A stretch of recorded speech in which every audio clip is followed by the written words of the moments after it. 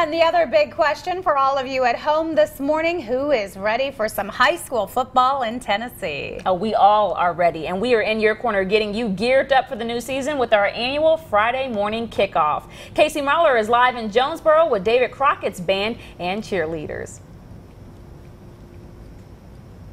Hey, we're not going to waste any time. We're going to turn the time over to the David Crockett cheerleaders as we get you ready for the weekend with Friday morning kickoff.